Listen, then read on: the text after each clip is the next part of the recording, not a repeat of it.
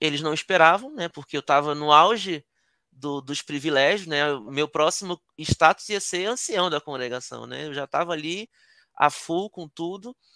E eu não dei muito detalhe também. Eu só falei que eu não concordava mais com as doutrinas e fiz uma carta como se fosse um pedido de demissão de trabalho, né? Avisando que eu estava saindo dali, que eu não queria mais fazer parte. E aí foi o meu último contato, isso em 2014. E depois disso, nunca mais, né? Esfriando, fui esfriando, até que comecei a ter é, conflitos. Depois desse curso também, eu fui designado servo ministerial. eu passei a ser servo ministerial depois desse curso, ou seja, o meu objetivo, né, mais ou menos, né, de avançar, de, né, de privilégio, eu consegui.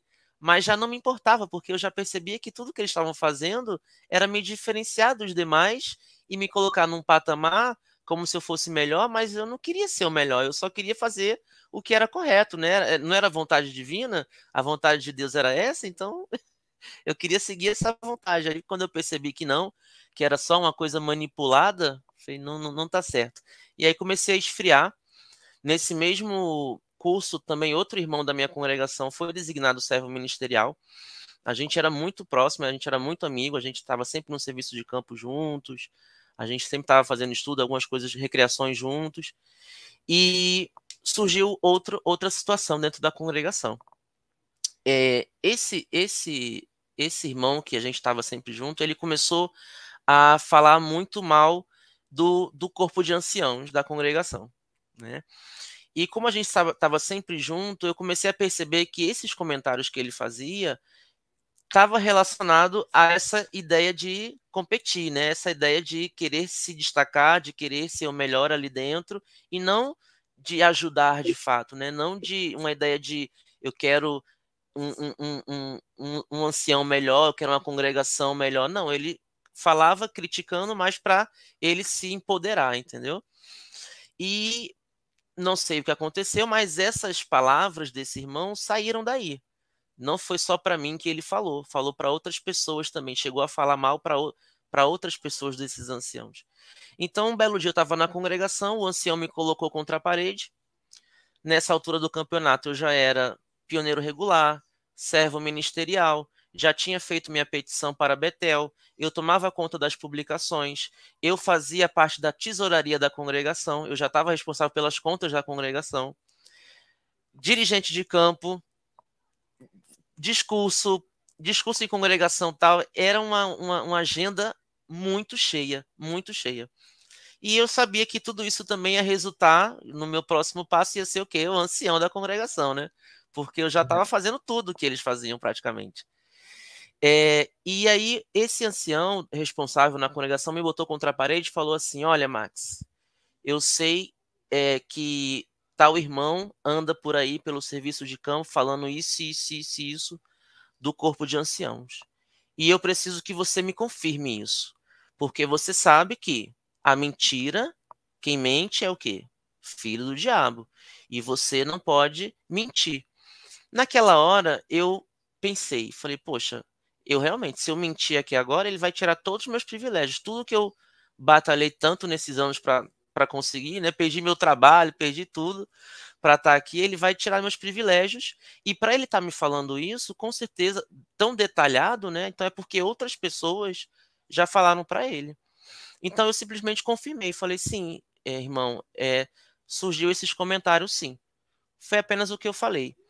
Passou mais alguns dias, quando eu olho, tá esse ancião me chamando para uma comissão judicativa, colocou colocou o outro irmão de frente para mim. Olha que situação constrangedora. Colocou esse outro irmão de frente para mim e pediu, expôs tudo e falou: "O Max vai confirmar aqui agora". Eu olhei para a cara do irmão, não tinha, não tinha como eu negar mais nada, né? Não tinha como eu falar mais. Eu falei: "É, foi isso mesmo". Pronto. A partir dali, eu entendi mais uma vez mais um jogo de manipulação, né, por parte dos anciãos que atacaram esse irmão porque estava indo contra né, o ensinamento, né, as regras que eles estavam ali estabelecendo e me utilizaram como instrumento para atingir esse, esse servo ministerial. Tanto que depois dessa reunião, ele perdeu os privilégios, né? Olha, olha que baque foi para ele também passar por isso, né?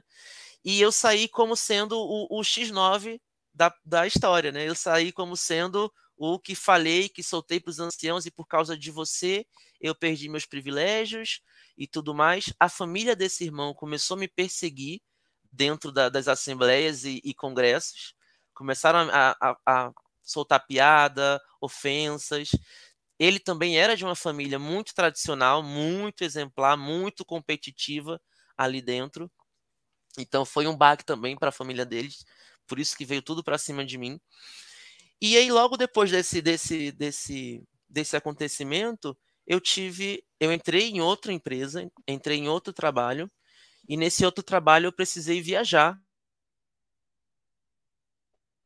né, para fora. Isso eu já estava trabalhando na área de recursos humanos já. Durante esses 30 dias, eu fui repassando, o Jefferson, tudo, tudo que tinha acontecido, né, no, nos últimos eu voltei com 20 anos, eu estava já em 2014, então já estava com 24. Então, tudo que tinha passado nos últimos quatro anos e como eu estava ali me limitando de tantas coisas mais uma vez.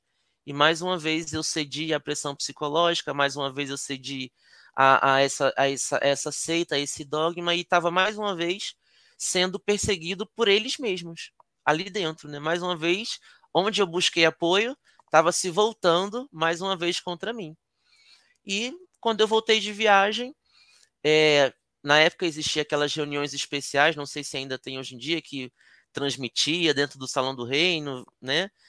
É, voltei de viagem, teve uma reunião especial. Depois dessa reunião especial, eu já chamei os anciãos na congregação, falei que queria conversar. E naquele momento falei que não queria mais fazer parte, que eu queria me dissociar é, da organização. Por quê? Por quê? Por quê? Porque eles não esperavam, né? Porque eu estava no auge do, dos privilégios, né? Meu próximo status ia ser ancião da congregação, né? Eu já estava ali a full com tudo. E eu não dei muito detalhe também. Eu só falei que eu não concordava mais com as doutrinas e fiz uma carta, como se fosse um pedido de demissão de trabalho, né? Avisando que eu estava saindo dali, que eu não queria mais fazer parte. E aí foi o meu último contato, isso em 2014. E depois disso, nunca mais, né? Nunca mais. Isso aí, isso aí foi, foi em João Pessoa. Em João Pessoa. E aí eu voltei para o Rio de Janeiro, né, depois que eu saí daí. Tá vendo? E nessa, é, quando você, você teve essa, essa conversa, é, é, eles, eu acredito que eles tentaram, né, alguma coisa para você ficar e, e eles falaram alguma coisa específica para você? É, tentou, é, tentaram entender, eles tentavam entender o motivo para talvez eu falando algum motivo, eles contornarem a situação, né? Ah, mencionaram que eu estava indo bem, né? Que não sei o que, você é um exemplo aqui na congregação, tal. Mas eu já estava certo, né? E eu era, eu, eu era a, a pessoa que que eu sabia questionar as coisas também, né? Eu tinha conhecimento bíblico muito grande, então eu, eu não ia ser uma pessoa que eles iam ficar ali me manipulando muito tempo. Eles já sabiam que eu já tinha conseguido um nível é, de, de, conhecimento bíblico muito grande e eles não iam conseguir me manipular para ficar ali, entendeu? Então eles não insistiram muito. Eu fui curto e grosso, entreguei a carta e dali eu já quis sair correndo. Mas, mas assim, é, você acredita que é, essa decisão que você tomou, eu acredito que não foi assim instantaneamente, construiu-se um, durante um mês, tempo. né? Durante um mês, eu, nessa viagem que eu fiquei fora do meu estado, né? Eu fiquei 30 dias fora. Durante esses 30 dias é o que eu fui pensando, né? Como que eu ia fazer, porque eu já não queria mais estar ali, eu já não queria mais, eu já, eu já tinha percebido que a minha ficha só caiu de que eu estava dentro de uma seita, dentro de um grupo de controle mental nesse, nesse momento, depois de adulto, né?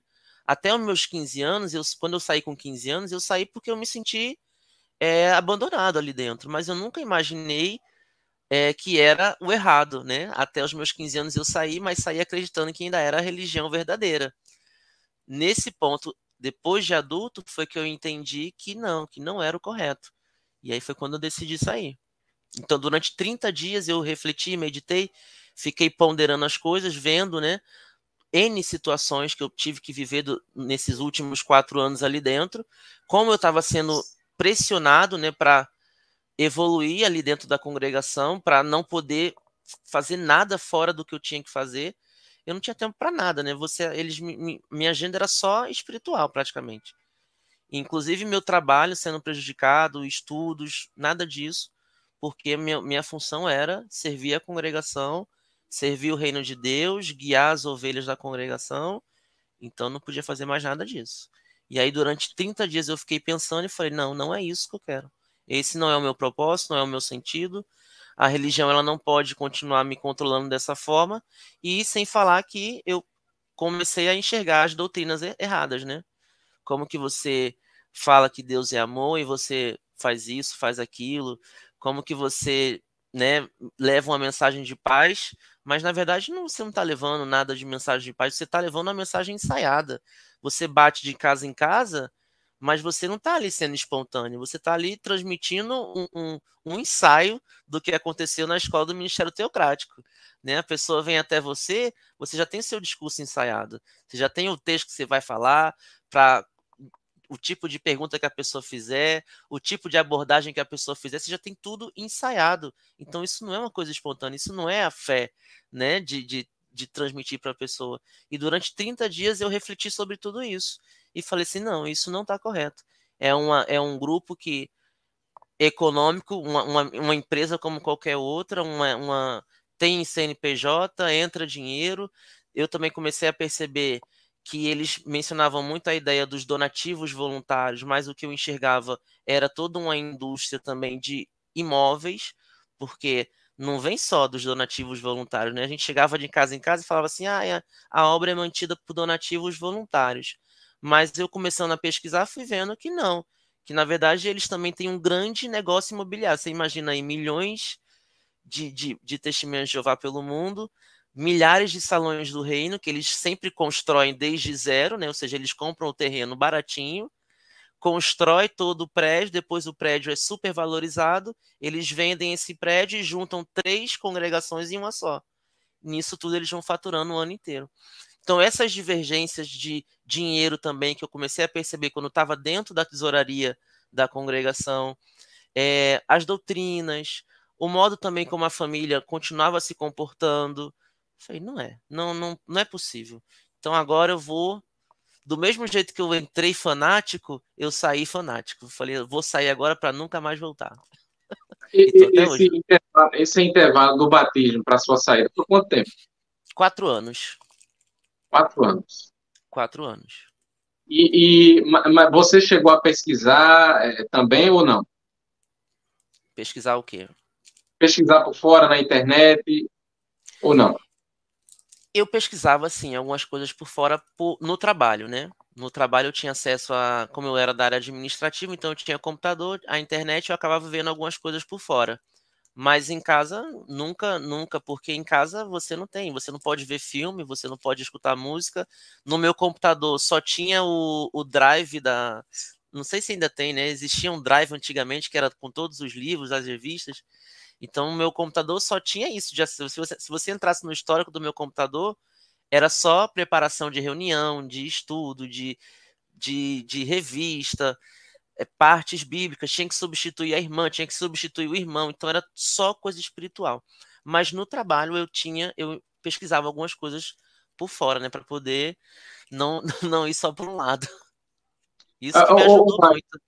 É, nesse, nesse, nesse, ainda nessa, nessa questão da decisão, é, você, você, como é que ficava a tua cabeça na questão do, da, da, da família, das pessoas que você conheceu no salão?